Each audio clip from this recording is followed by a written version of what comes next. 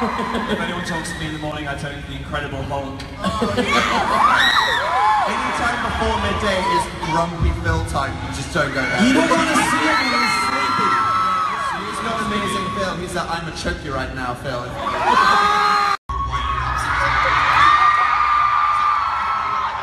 we're having an argument or something, Phil will just leave the room and I'm like, I guess I won. And then he'll just come in with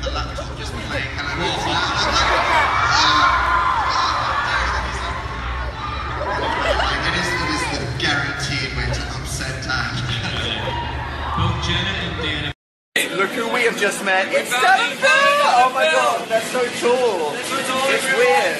Look at his sad dimple there. What a weirdo. Phil.